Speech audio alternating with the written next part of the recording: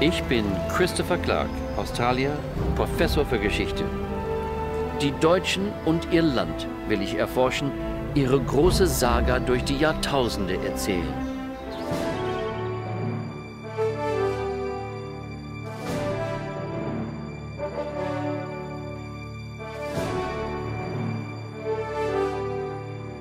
Bereitet zu spät durch Nacht und Wind.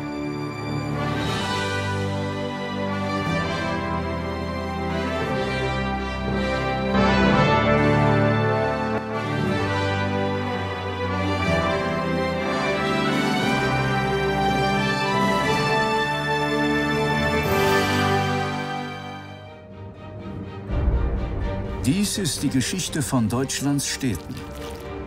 Sie ziehen die Menschen an. Über 80 Prozent aller Deutschen leben hier.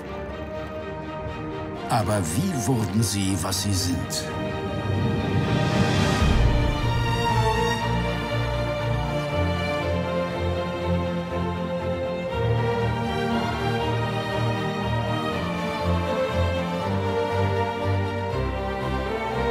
Ganz egal, wo Sie wohnen, auf dem Lande oder in der Stadt. Diese Geschichte geht uns alle an.